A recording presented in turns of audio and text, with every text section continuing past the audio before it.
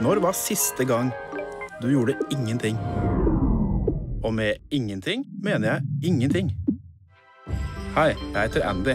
Velkommen til Headspace, en innføring i meditasjon. Jeg skal være guiden din, mens vi utforsker sinnet og oppdager hvordan meditasjon kan være til hjelp for oss.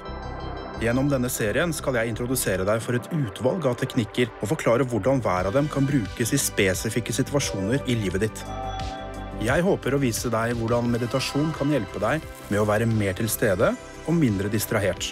Gi en dypere følelse av glede i livet, og samtidig hjelpe med å knytte bånd til dem som betyr mest for oss. Den beste måten å oppleve meditasjon på, er å faktisk gjøre det, ikke bare snakke om det. Vi skal starte med åpne øyne og et fint, mykt fokus. Bare erkjenn rommet rundt deg, og bruk noen sekunder før du gjør noe som helst til å nyte og verdsette følelsen av å ha stoppet opp.